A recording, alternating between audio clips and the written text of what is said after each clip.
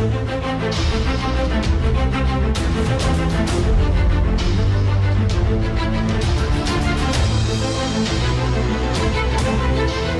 back.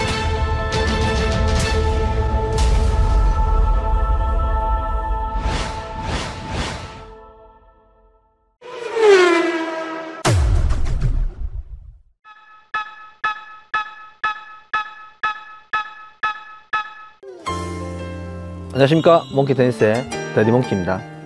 오늘 강의는 어, 타점에 따른 면 손목 각도의 이해입니다. 자 우리 동호인분들이 대부분 타점을 앞이라고만 생각을 하십니다. 그죠? 예, 앞에. 왜 우리가 항상 배울 때 공을 앞에서 맞춰라 앞에서 맞춰라는 이야기를 대부분의 초보자들이나 초보자들이 듣고 테니스를 입문을 하시기 때문에. 하지만 우리가 테니스를 앞에서만 타점을 앞에서만 칠 수는 없어요 그죠 왜냐면 우리가 공이 빨리 오는 공 공이 느리게 오는 공 공이 옆으로 빠지는 공 그죠? 공이 길게 오는 공에 따라서 내가 이 움직여야 될 방향이 다르기 때문에 여러분들이 공을 늘 앞에서만 칠 수가 없습니다. 그래서 여러분 초보자들이랑 우리 어, 하수분들이 이 어, 리듬이 안 맞다거나 발 스텝이 안 맞거나 그죠? 그다음에 이 준비를 할 수 있는 로딩을 할 수 있는 시간이 부족해지는 거거든요. 자, 그럼 제가 먼저 시범과 함께 설명을 드리면서 한번 진행해 보겠습니다. 자 우리 대부분의 동호인분들이 특히 뭐 중수 밑으로 계신 뭐 상급자도 마찬가지지만 대부분의 우리 어, 동호인분들이 타점을 여기서 이제 앞에 놓는 타점에서 치시죠. 그죠? 근데 우리 여러분들이 앞에서 앞에서 타점을 치실 때는 스윙을 끝까지 한다라는 스윙을 끝까지 해라라는 말을 들을 수가 있어요 여러분 왜냐면 타점을 이 앞에서 두게 되면 타, 내 타이밍이 빨라지기도 하지만 타점을 이렇게 팔이 뻗어진 상태에서 스윙을 끝까지 못 돌려요 예, 그걸 아셔야 돼요, 여러분. 근데, 자, 스윙을 끝까지 돌리려면, 돌리는 스윙을 하려면 타점이 내 옆에, 옆에로 와야 돼요. 왜, 왜냐면, 자, 내가 팔을 앞에, 앞에, 앞에서 잡았을 때는 이 팔이 벌써 펴지고 손목을 제낀 상태가 돼야 되죠. 손목의 각도가. 왜냐면, 자, 앞에서 내가 정면을 보낸다는 기준에서 타점을 앞에 놓게 되면 손목이 제껴지지 않으면 아, 정면에 안 가져오죠. 예. 그래서 여러분들이 타점을 앞에서 놓을 때는 손목을 제껴야 되고, 옆에서 놓을 때는 이 손목이 덜 제껴져야 돼요. 그래야지 내가 정면을 기준으로 이 손목 각도가 맞죠. 그죠? 앞에서 났던 이 손목 각도로 여기를 오면 이 정면의 기준에서 벗어나겠죠. 우측으로. 그죠? 그러면 내가 앞에서는 손목을 제끼고, 그 다음에 옆에서는 손목을 덜 제끼고, 그죠? 그 다음에 내가 뒤에서 놓을 때는 오히려 더 헤드가 더 앞에 나와야 된다는 이런 포지션을 가지고 계셔야 돼요. 그래야지 여러분들이 이 앞과 옆과 뒤의 타이밍을 자유자재로 칠 수가 있어요. 그러려면 이 손목이 굉장히 좀 어, 유연하고 그죠? 좀 부드러워야 되겠죠. 그죠? 어, 너무 과하게 힘을 주고 계시면 이 면을 각각 못 맞춰내겠죠. 그래서 자, 우리 타오인분들이 대부분 타점을 여기서 칩니다. 그죠? 다, 자, 앞에서.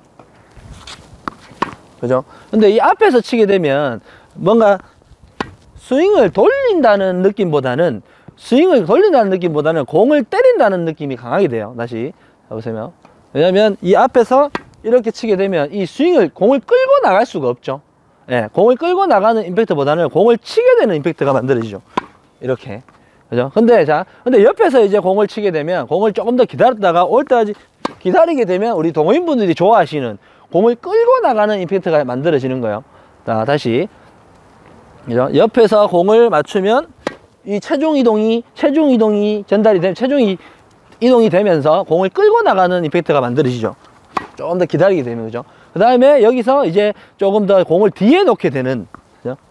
좀 뒤에 놓게 되는 이런 샷을 치게 되면 그죠? 이 스윙이 우리 여러분들 동호인분들이 동호인분들도 이 늦은 공에 대해서 밀린 공에 대해서 스윙이 이렇게 되는 걸 느끼시죠? 어, 많이 이런 동작을 하시죠. 이게 이제 이, 이 스윙을 보고 reverse 포핸드라고 하긴 하는데 자 이렇게 늦었을 때 우리가 이렇게 스윙을 왼쪽으로 가지, 가져가지 못하고 그냥 우측으로 이렇게 어, 우측 어깨 위로 올리는 걸 보고 우리가 reverse 포핸드라고 해요. 근데 이 지금 이렇게 늦었을 때 reverse 포핸드 이런 개념은 조금 더 reverse 포핸드에서 조금 잘못된 개념이고 그냥 늦어서 늦어서 내가 스윙을 급하게 올리다 보니까 이제 어, 올라가는 거죠. 근데 이 여기서 내가 늦었을 때 스윙을 이 늦은 타점에서 이걸 이렇게 당겨 버리면 공이 전부 다 밀려 날아가게 되겠죠. 예, 그래서 여러분들이 다시 자 다시 앞에 그 다음에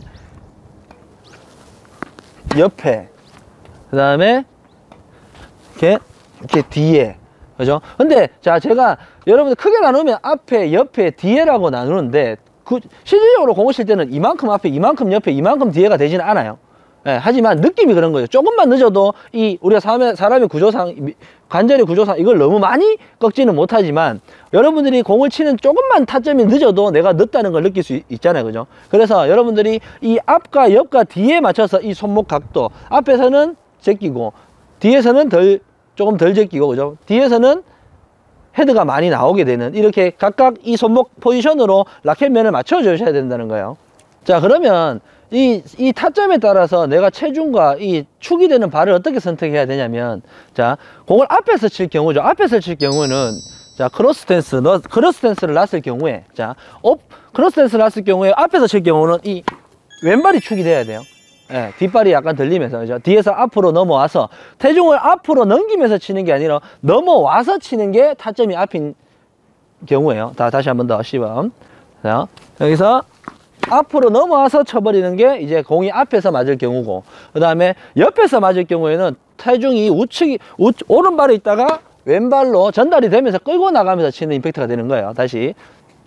자, 오른발에서 왼발로 끌고 나가면서 이렇게 체중이 만들어지죠. 그죠? 그 다음에 마지막으로 뒤에서 치는 공들은 이제 오른발이 축이 되는 거예요. 보세요. 왼발이 들리면서, 예, 왼발이 들리면서 오른발이 축이 되는 경우가 이제 뒤에서 맞는 경우죠. 왜냐면, 자, 우리가 뒤에서 맞았을 때 왼발에 체중이 실리면 이게, 이건 밀리는 거죠.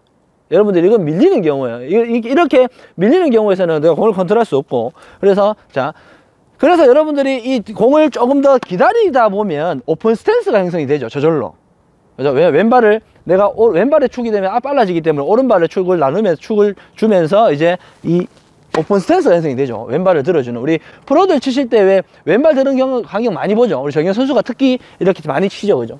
예, 그래서 이 타점은 이 왼발을 드는 타점은 빠른 타점보다는 빠른 타이밍보다는 짝- 약간 늦추는 조금 늦은 늦추는 타이밍에 속해요. 예, 그래서 여러분들이 이 이, 이 손목 각도와 더불어 이 체중 이동, 이 축이 되는 발이 어떤 발이냐 알아야 여러분들이 때로는 빠르게, 때로는 정타점, 때로는 늦춰서 칠 수 있는 타법을, 타법으로 갈 수 있다는 거예요, 여러분.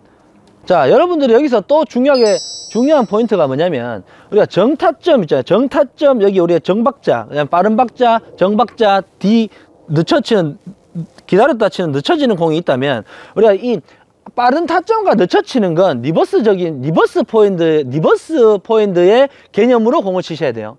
왜냐면 앞에와 뒤의 타점은 돌린다는 개념보다는 끊어내야 되는 타, 어, 타, 타점이거든요. 그래서 여러분들이 이 reverse 포핸드를 어쩔 수 없이 우리가 끊어친다. reverse 포핸드, 저는 reverse 포핸드를 끊어친다라는, 끊어친다라는 개념으로 생각을 하고 있는데, 물론 뭐 이건 뭐 여러 사람에 따라서 뭐 다른 개념이 될 수도 있어요. 근데 저는 reverse 포핸드를 끊어친다가 라고 생각하고 있기 때문에 여러분들이 이 정타점이 아니라 앞과 뒤와 옆을 자유자재로 오가시려면 reverse 포핸드의 개념을 아셔야 돼요. 예, 그래서 그래야 여러분들이 이 타점에 맞게 내 상황에 맞게 그죠? 그 위치에 맞게 임팩트를 끊어낼 수 있거든요.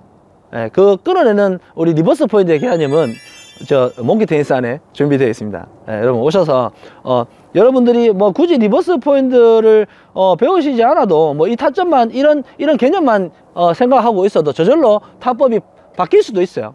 예, 요 개념만 생각해도 네. 여러분들이 이 타점별 이 타점별 손목 각도를 어, 숙지하셔서 여러분들이 어떤 상황에서도 어떤 리듬에서도 공을 어, 상대방 코트에 어, 위력적으로 보낼 수 있는 그런 테니스를 하시길 바랍니다. 네. 자, 오늘 이렇게 해서 여러분들이 이 타점에 따른 면, 손목 각도의 이, 어, 이해를, 어, 좀 하셨는지, 어, 모르겠습니다. 예.